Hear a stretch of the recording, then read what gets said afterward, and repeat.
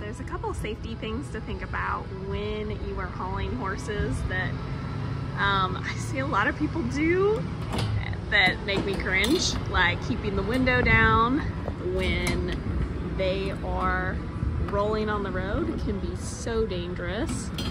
One, your horse can jump out. Two, and get stuck in the window.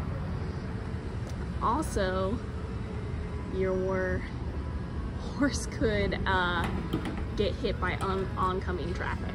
So it's really important to at least keep your grade up when you are hauling and driving down the road. Now, right now, I'm here watering him, so I feel pretty comfortable because I'm here managing the situation, but I'm not gonna leave him unattended with the window down.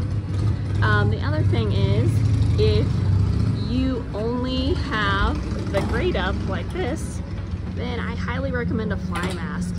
Bugs and debris can hit their eye when you're driving and damage um, their eye. So it's really important that they have some kind of protection. Um, today it's warm enough that, um, or I should say it's cool enough that I can keep the window up and he doesn't have a fly mask. So I just have the window open with just uh, the screen protecting him from anything. So those are just a couple safety things to really keep in mind.